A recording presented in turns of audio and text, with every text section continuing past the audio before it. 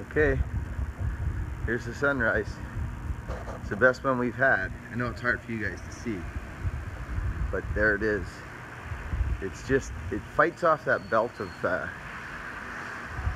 it fights off that belt of uh, cloud that comes along there. Every morning it's there. You can see the separation from there. There's, the, there's, the, there's the sea, the horizon, there's the sun. It's massive. It is beautiful. It's, uh, it's just, it's huge. You know what I mean? It is beautiful, but it is not, uh, oh yeah, she's big actually. there she comes. That's the best we've had, friends. There's our breakfast spot. We're on our, uh, pretty much our last day here. This is our last sleep. Wow, that's coming up gorgeous. A minute. Wow. it is going to be a gorgeous day. See, the whole sky is blue, but there's that little belt every day right there. So it, it's rare that you, you get uh, the sunrise. Anyways, you've seen enough of that. Um, that's the best one I've seen. Hey, I've got a few videos today coming up.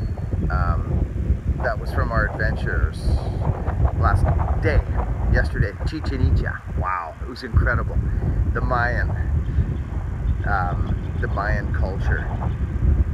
Pretty incredible stuff, really. I'm really glad we went. It was a 12, actually it was a 13 hour tour. It was tiring, um, but it was worth it. It really was. It was worth it to, to learn about the culture and to be around those those ruins. It, it, you can't explain it. You know, you see it on TV or you see it here and there, little pictures and postcards, uh, you think, oh yeah, neat, really, that's that's that's cool, yeah.